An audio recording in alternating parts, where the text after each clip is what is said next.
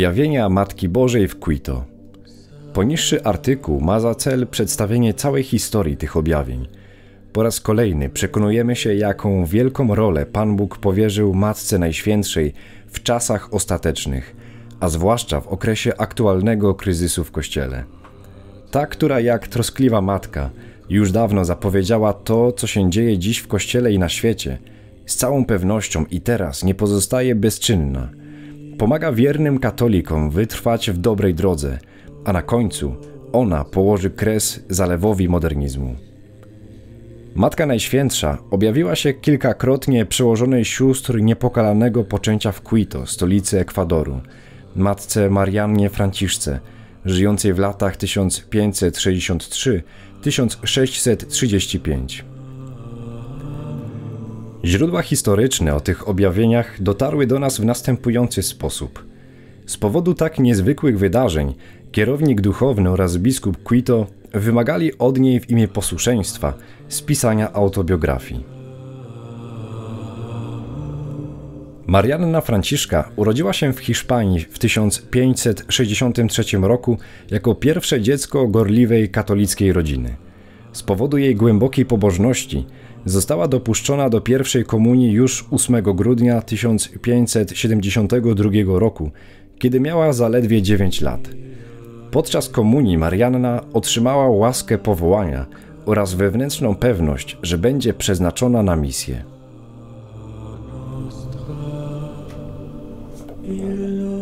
W 1577 roku opuściła Hiszpanię razem z ciotką, matką Marią de Jesus Taboda – i czterema innymi zakonnicami, aby założyć klasztor w stolicy Ekwadoru. Rozpoczęła tam swe życie zakonne, które płynęło wedle ówczesnych zwyczajów w atmosferze surowych umartwień. Matki założycielki były zachwycone doskonałym przestrzeganiem reguł zakonnych i praktyką cnót młodej nowicjuszki. Inne siostry jednak okazywały zazdrość, prześladowały ją i rozsiewały oszczerstwa – po śmierci pierwszej przełożonej w 1593 roku została wybrana na przeorysze. Było to w chwili, kiedy w Quito wybuchła rewolucja, której skutki miały dotknąć również zakony. Właśnie wówczas pewna zakonnica zwana La Capitana z pomocą niektórych duchownych zawiązała spisek przeciw przełożonej i razem z innymi siostrami domagała się złagodzenia reguły i zwolnienia od kierownictwa duchowego ojców franciszkanów, uważanych za bardzo gorliwych i surowych zakonników.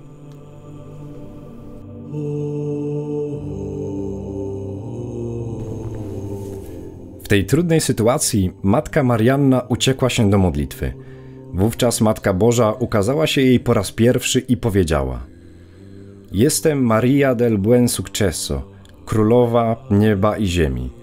Przyszłam, aby pocieszyć Twoje udręczone serce.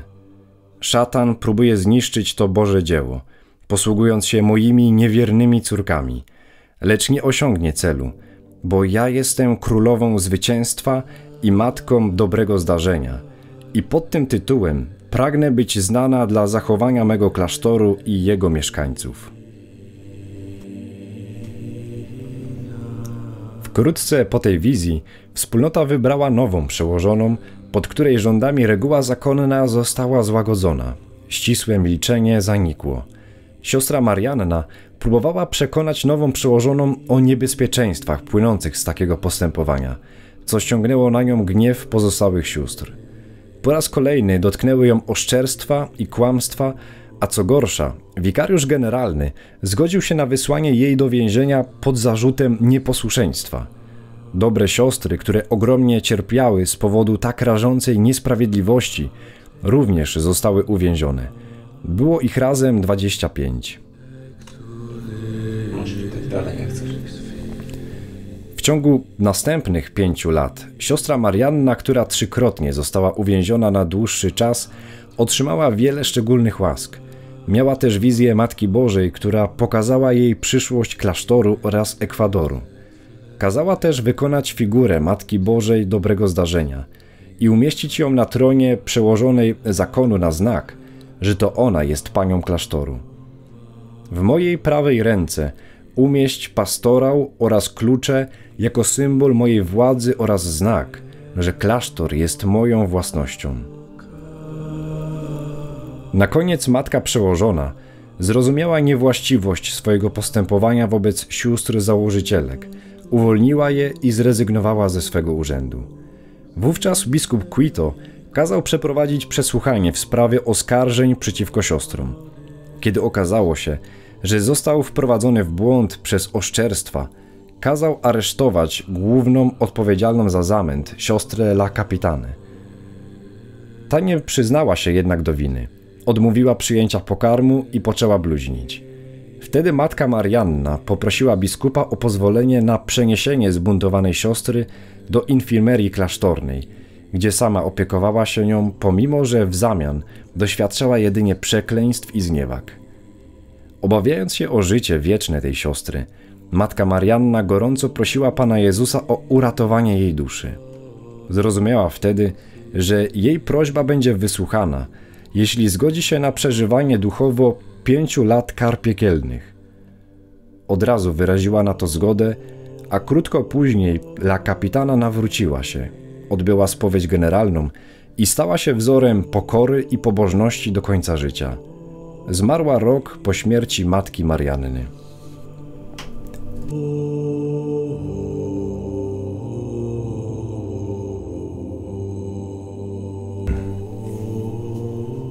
Tymczasem matka Marianna musiała wypełnić obietnicę.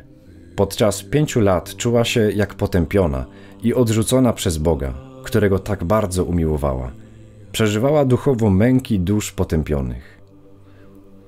20 stycznia 1610 roku Matka Boża objawiła się jej znowu i powiedziała między innymi: Wiedz, że od końca XIX wieku, a szczególnie w XX, namiętności wybuchną i dojdzie do zupełnego zepsucia obyczajów, bo szatan prawie całkowicie panował będzie przez masońskie sekty. Aby do tego doprowadzić, skupią się one szczególnie na dzieciach. Biada dzieciom w owych czasach. Trudno będzie przyjąć sakramenty chrztu i bierzmowania. Wykorzystując osoby posiadające władzę, diabeł starać się będzie zniszczyć sakrament spowiedzi. To samo będzie z komunią świętą.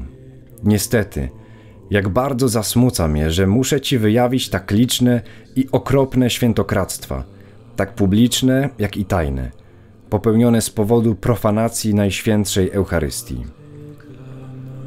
W czasach tych wrogowie Chrystusa, zachęceni przez diabła, często kraść będą z kościołów konsekrowane hostie, aby bezcześcić postacie eucharystyczne. Mój najświętszy syn widzi samego siebie rzuconego na ziemię i zdeptanego przez nieczyste nogi. Dalej mówi Matka Najświętsza o lekceważeniu sakramentu ostatniego namaszczenia, przez co wiele dusz pozbawionych będzie pocieszenia i łask w decydującej chwili śmierci. Sakrament małżeństwa, symbolizujący związek Chrystusa ze swoim Kościołem, będzie przedmiotem ataków i profanacji w najściślejszym znaczeniu tego słowa. Masoneria, która będzie wówczas sprawować rządy, zaprowadzi niesprawiedliwe prawa mające na celu zniszczenie tego sakramentu, a przez to ułatwi każdemu życie w stanie grzechu oraz spowoduje wzrost liczby dzieci urodzonych w nielegalnych związkach, niewłączonych do kościoła. Duch chrześcijański szybko upadnie. Drogocenne światło wiary zgaszone będzie do tego stopnia, że nastąpi prawie całkowite zepsucie obyczajów. Skutki zeświadczonego wychowania będą się nawarstwiać, powodując innymi niedostatek powołań kapłańskich i zakonnych. Sakrament kapłaństwa będzie ośmieszany, lżony i wzgardzony – Diabeł prześladować będzie szafarzy Pana w każdy możliwy sposób. Będzie działać z okrutną i subtelną przebiegłością, odwodząc ich od ducha powołania i aby uwodząc wielu, owi zdeprawowani kapłani, którzy zgorszą chrześcijański lud, wzbudzą nienawiść złych chrześcijan oraz wrogów rzymskiego, katolickiego i apostolskiego kościoła, którzy zwrócą się przeciwko wszystkim kapłanom. Ten pozorny triumf szatana przyniesie ogromne cierpienie dobrym pasterzom Kościoła. Poza tym w owych nieszczęśliwych czasach nastąpi niepohamowany zalew nieczystości, która popychając resztę ludzi do grzechu, pociągnie niezliczone, lekkomyślne dusze na wieczne potępienie. Nie będzie można znaleźć niewinności w dzieciach, ani skromności u niewiast. W owych chwilach największej potrzeby Kościoła ci, którzy mają mówić, będą milczeć. Na koniec Matka Boża ponownie nakazała wykonać figury ku jej czci. Zaraz po tym objawieniu Matka Marianna prosiła biskupa Quito, aby jak najprędzej ustosunkował się do próśb Najświętszej Maryi Panny. Po otrzymaniu jej zgody powierzyła wykonanie artyście Francesco del Castillo, który nie tylko był doświadczonym rzeźbiarzem, ale także człowiekiem wielkiej cnoty, połączonej z głęboką pobożnością maryjną. Kiedy praca dobiegała do końca, zdecydował, że będzie musiał pojechać do Europy, aby znaleźć najlepsze farby do malowania twarzy Madonny. Obiecał powrócić do Quito przed 16 stycznia 1611 roku i ukończyć dzieło.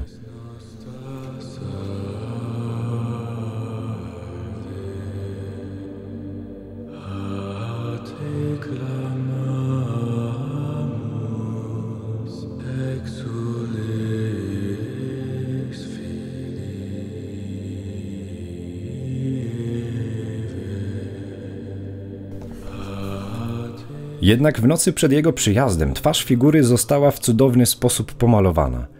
Kiedy siostry przyszły wczesnym rankiem na jutrznie, kaplica wypełniona była niebieskim światłem otaczającym posąg.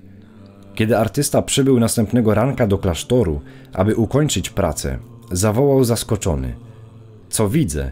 Ta wspaniała rzeźba to nie moje dzieło.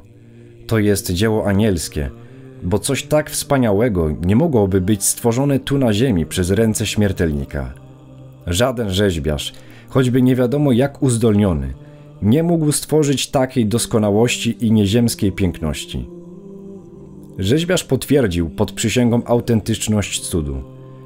Pod spisanym przez niego oświadczeniem widnieje również podpis biskupa Quito, który wkrótce kazał przygotować się przez nowennę na uroczystą intronizację – 2 lutego 1611 roku poświęcił uroczyście cudowną figurę pod wezwaniem Matki Bożej Dobrego Zdarzenia. Rzeźba wniesiona została w uroczystej procesji na wyższy chór kościoła klasztornego na specjalnie przygotowanym tronie. Co roku przenoszona jest w procesji z chóru do głównego ołtarza podczas nowenny poprzedzającej święto Matki Bożej Dobrego Zdarzenia 2 lutego.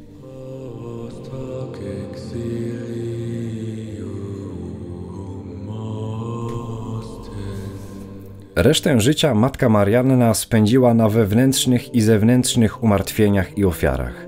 Chciała stać się ofiarą dla XX wieku, jak o to prosiła ją Matka Najświętsza.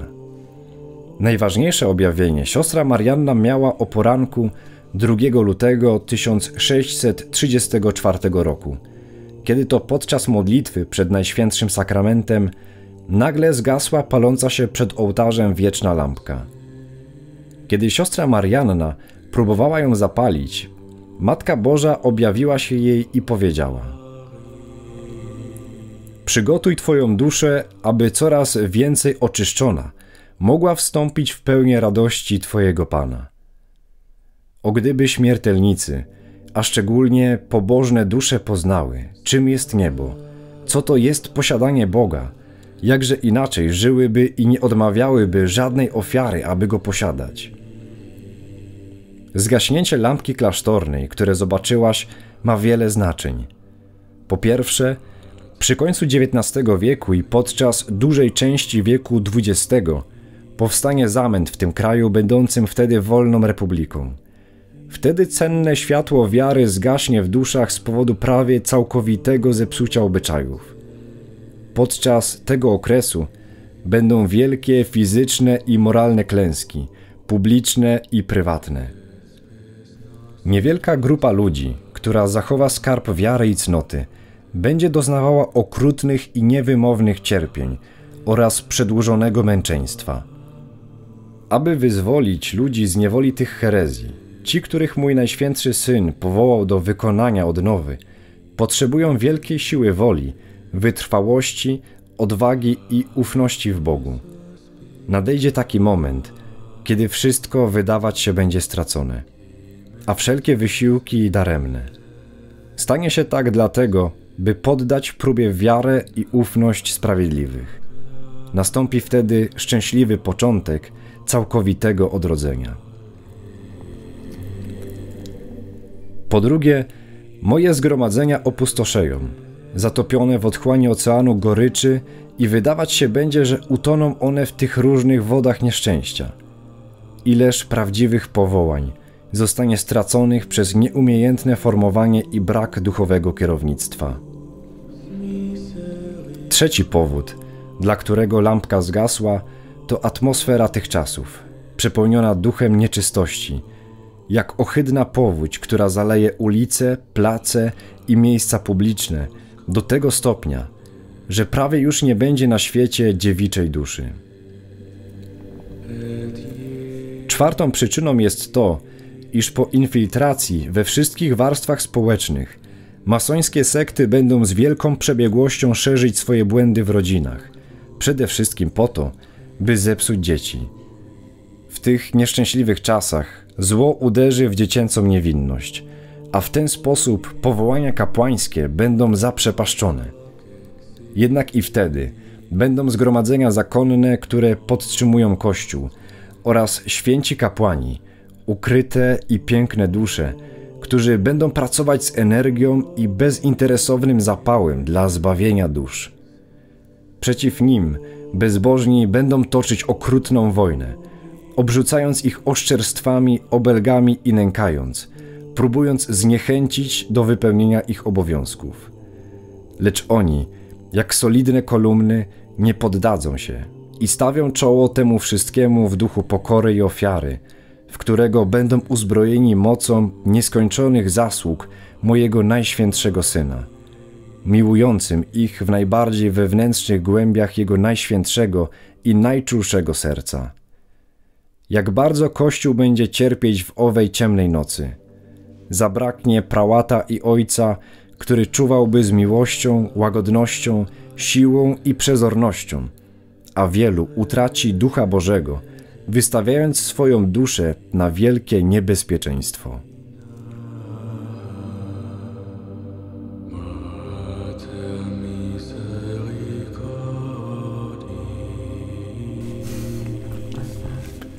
Módl się usilnie, wołaj niestrudzenie i płacz nieustannie gorzkimi łzami, w skrytości serca błagając naszego Ojca Niebieskiego, aby z miłości do eucharystycznego serca mojego Najświętszego Syna – dla Jego najdroższej krwi, wylanej z taką hojnością, oraz głębokiej goryczy i bólu Jego męki i śmierci, ulitował się nad swoimi sługami i położył kres tym straszliwym czasom, oraz aby zesłał Kościołowi prałata, który odnowi ducha Jego kapłanów.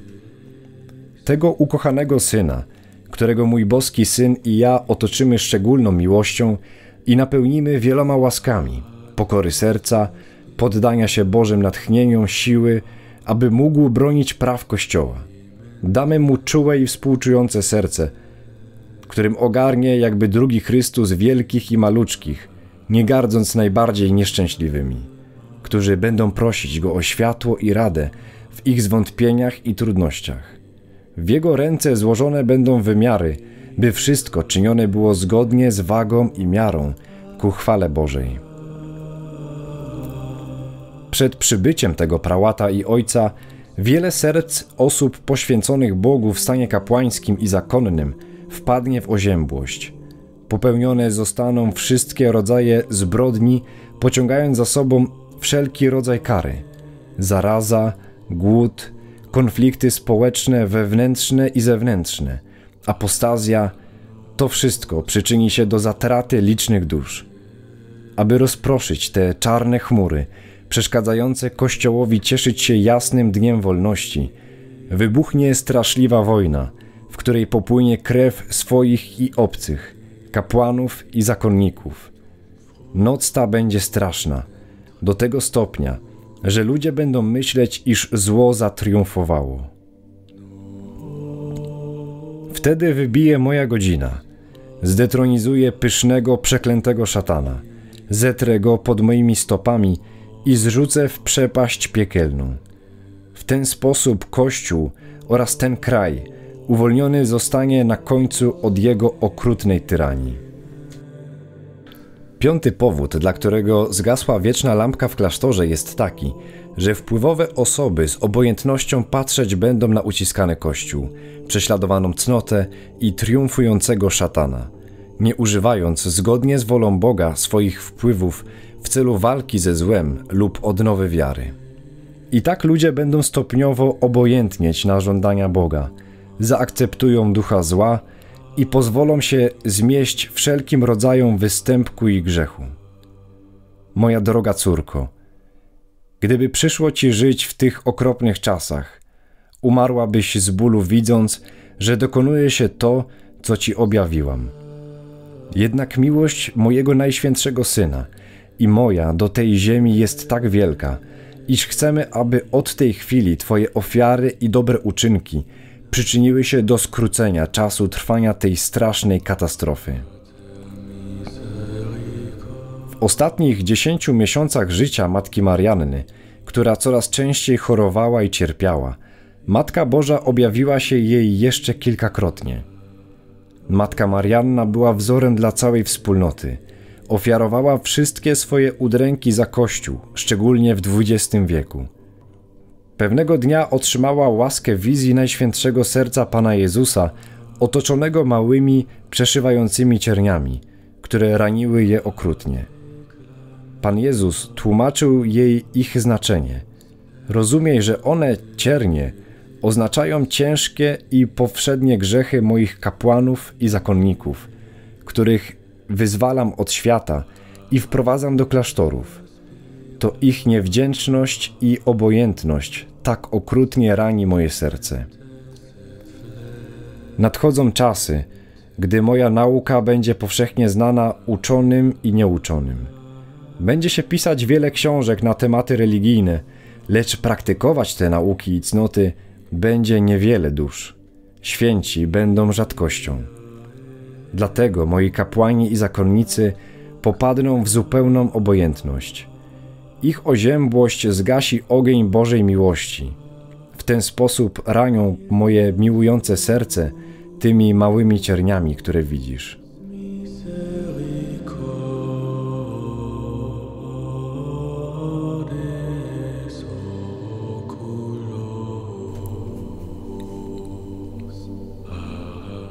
Wiedząc także, że boska sprawiedliwość ześle straszne kary na całe narody – nie tylko za grzechy ludzi, ale także szczególnie za grzechy kapłanów i osób zakonnych.